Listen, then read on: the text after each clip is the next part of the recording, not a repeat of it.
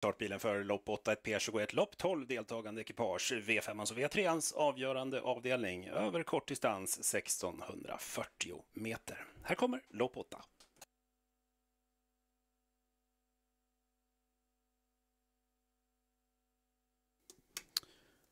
Då ska vi strax starta dagens sista lopp och hästarna har 100 meter kvar till start.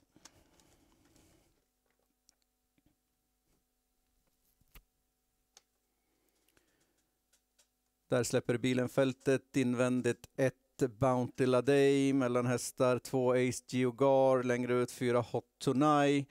Allra längst ut hittar vi nummer sex Needlem. Galopp därför ett Bounty Laday. Vi har eh, två Ace Geogar i ledningen, får du utvändigt favoriten sex Needlem. Sex Needlem försöker pressa sig mot ledningen, får svar av två Ace Geogar.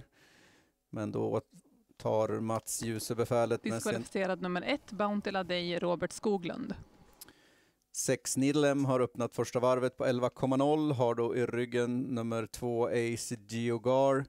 Tredje invändigt, fyra Hot Tonight, första häst utvändigt, nio The Last Trapper, andra ytter, tre Highflyer VS, tredje ut fem Valentino Demi, fjärde invändigt, sju Listas Aragon, fjärde ytter, nummer 11 Real Design, har sin rygg 10 SGS Masanti med på innerspår 12 Seaside Heights, avslutar fältet, gör 8 Forever and Ever.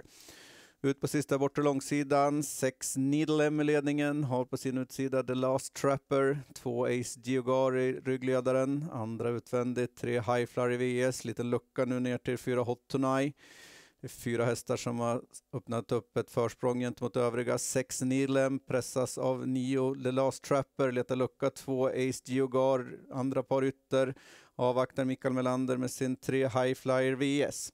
En kvartett har ryckt åt sig några längder när vi har 300 meter hem. Favoriten 6 Nidlem i ledningen. 9 The Last Trapper tappar någon längd. Detta lucka 2 East Jugar. 3 High Flyer VS får anfallsorder in på upploppet. 6 Nidlem, 2 East Jugar hittar ingen lucka mitt i banan. 3 High Flyer VS. 6 Nidlem, 3 High Flyer VS. Mellan hästar 2 Ace Geogard. Nidlem, High Flyer VS. 2 Ace Geogard. Det blir 2 Ace Geogard.